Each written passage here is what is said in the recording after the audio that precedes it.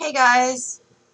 Today I am going to teach you how to make lens flares and other lighting effects for your images in Photoshop. To start off, uh, there's a few ways that you can actually achieve this effect.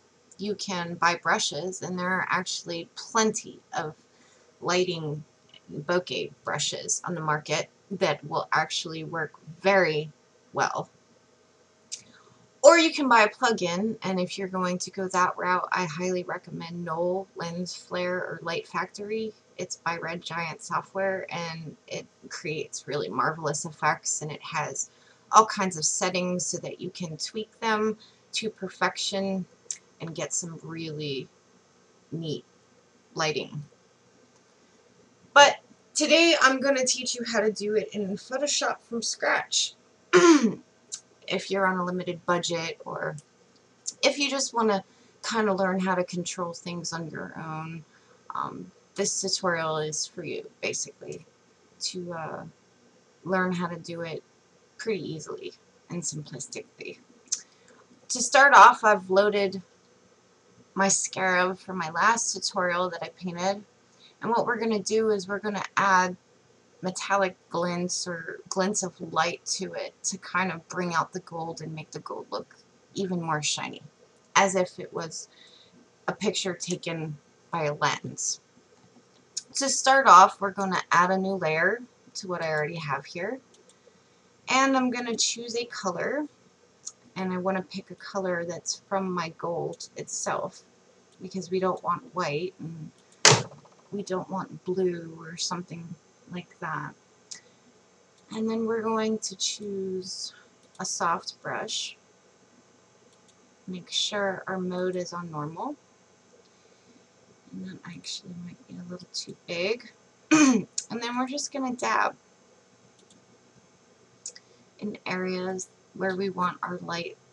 And that's actually good because it would show that the light source is coming from one direction. But you can add other glints too if you want. I think for now I'm just going to stick with that. And you can add smaller ones if you want to like there. Or even smaller to like here. Just to kind of get different sized lighting glints. And then we're going to duplicate this layer.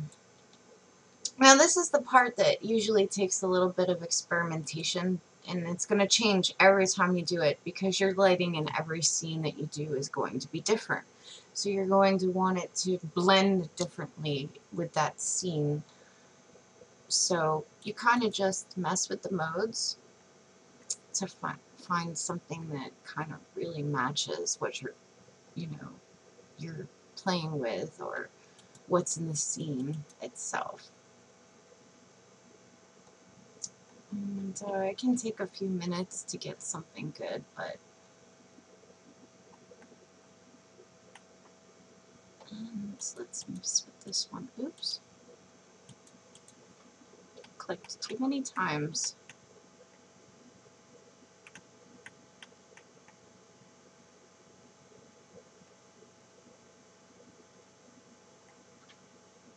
And, hmm.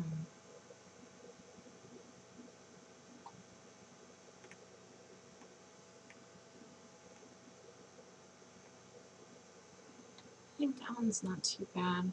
Let's change this one though. We really wanted to kind of, you know, bring out the scarab like it's a real piece of jewelry, you know, with real metallic glints coming off of it. And this is, you know, not really working out for me too well, but that's the way it goes. You just have to keep playing with it until you get something. And actually I like that. And let's change this to like heart now. Burn.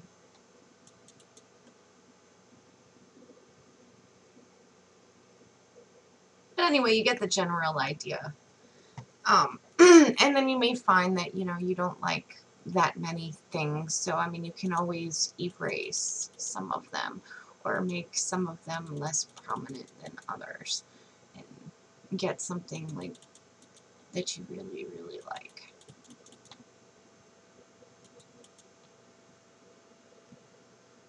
That's actually not too bad. I think that one is a little too big and prominent. And you always want to do it like this. You don't want to use your dodge tool for the specific reason that when you're actually doing this in a scene, you want your lighting to kind of fall off whatever you're lighting up. So you, you want this soft blend to kind of bleed into the image too because light would be, you know, eternal, well, to some degree, you know, and it would keep traveling off of what's being lit up by the light. Another thing that you can do is create anamorphic light by simply changing your roundness. And what anamorphic light basically is, is a distortion that is created by a lens. And, and these are natural distortions that would happen with lenses as the light enters them from certain angles. But that's just for demonstration. You don't have to. And I'm just going to keep, you know, this on 50, or 100%. Um, and I'm going to close this out because now I'm going to teach you how to make a lens flare. And for this, we want a bigger brush than what we have actually loaded.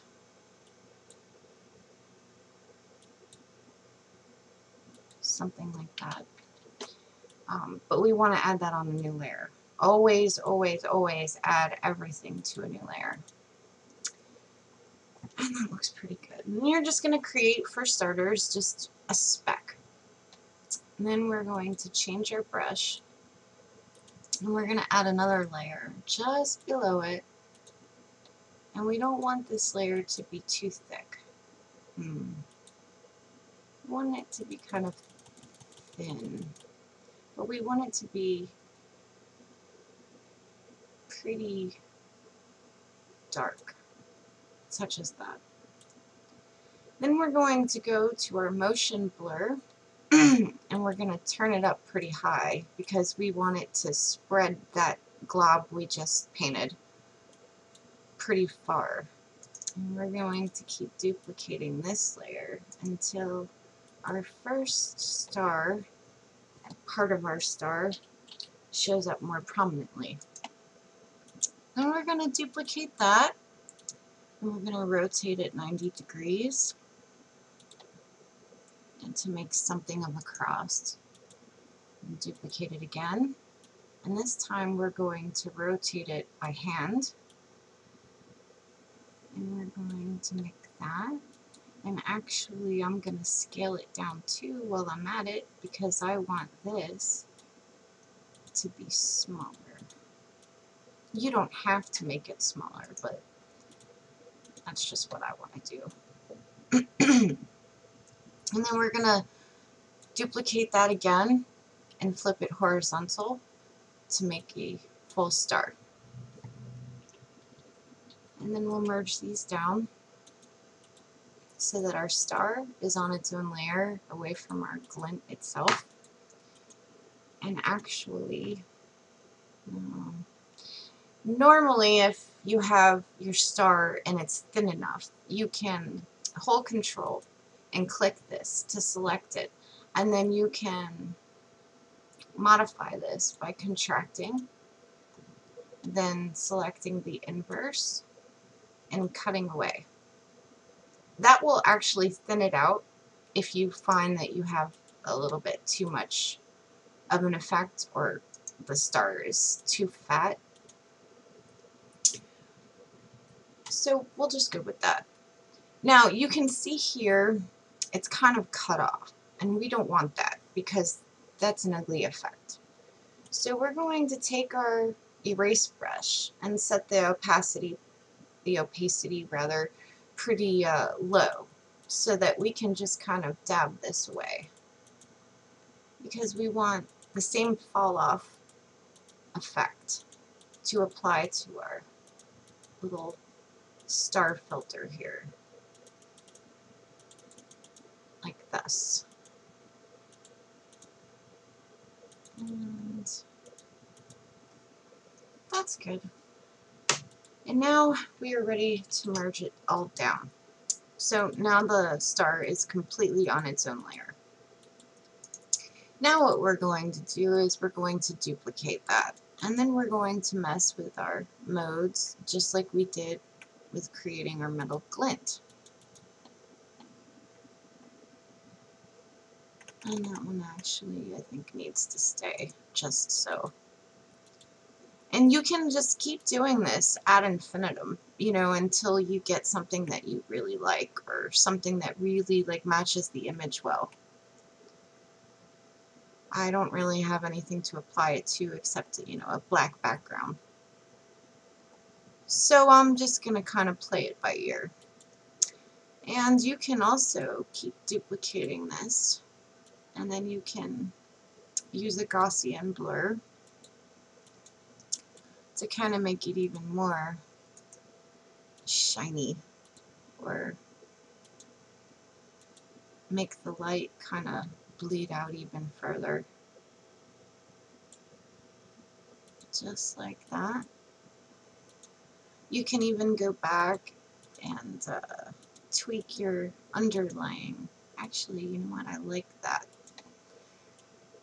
You can tweak this and get completely different with your star.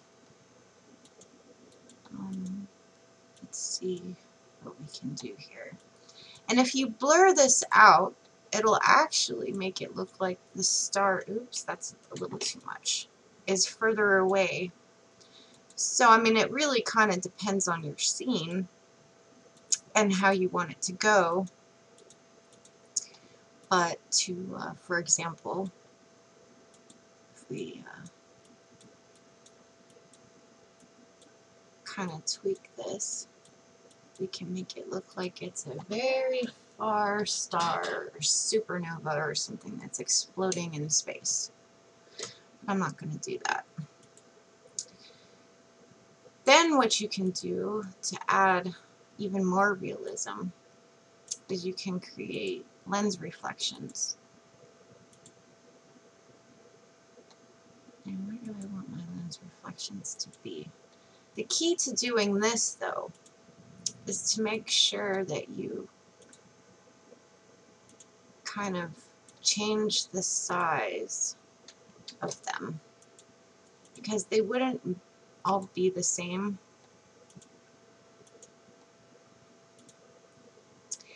And uh, you can actually even change the color too because uh, with lens and light, you know, there's always a prismatic effect. So you can, you know, even, you know, change these singularly or, you know, as a collective. Let's see, we want to select just that one and we can change that to like, you know, green, like a greenish effect. And uh, you can change this one to a completely different color, like maybe a red, and so on and so forth. That's actually probably a little too um, saturated for my taste, so I mean you can come over here and desaturate it a little. And then you can do the same thing. You can duplicate the lens reflect layer and kind of mess with the settings here to get a good look.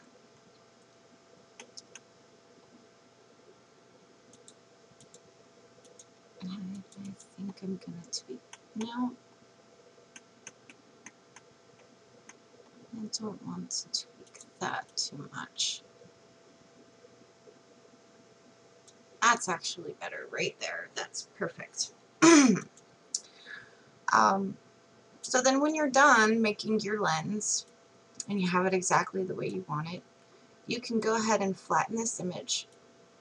Then you can desaturate it and then you can invert it.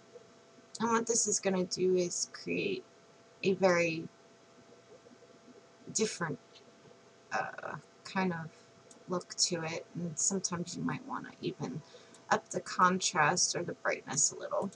And then you can come over here and click Define Brush Preset. What this is going to do is make it a brush. And then we want to come down here and there's our brush. Exactly how we wanted it. And we can create it as many times as we want. We can also apply the same anamorphic effect, lens squishing as it were, to uh, make it even a little bit more realistic, like the lens is actually kind of squishing the flare itself.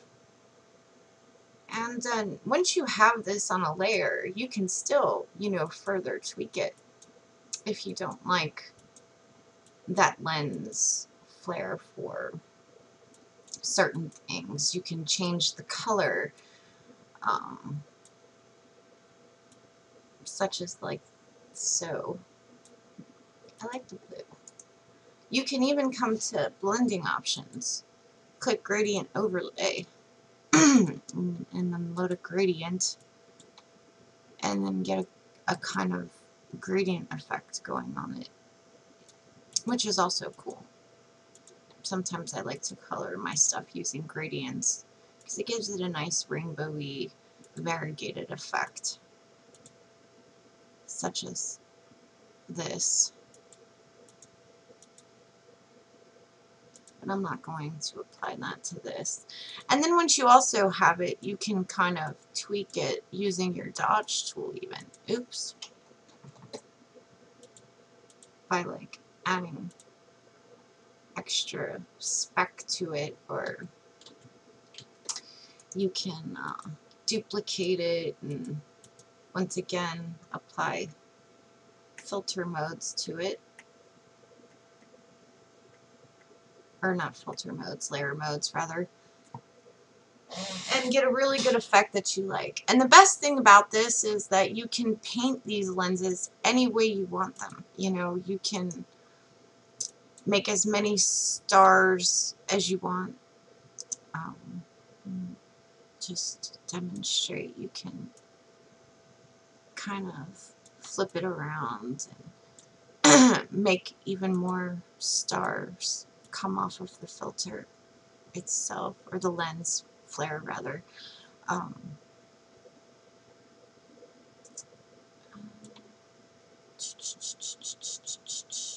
I mean, you can make it, you can turn it, you can spin it, you can do whatever you want to it, and that doesn't look very good.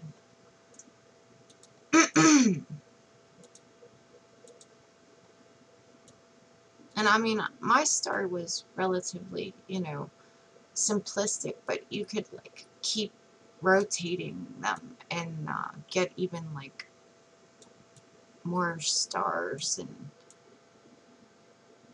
you can scale this up make it look really prominent um, maybe erase the uh, reflections though, because they don't look good in every instance. And really get something pretty spectacular. Can erase away and you can do all kinds of things. So that pretty much covers this quick tutorial for today. Hope you had fun. Hope you learned something new and I'll see you next time. Bye!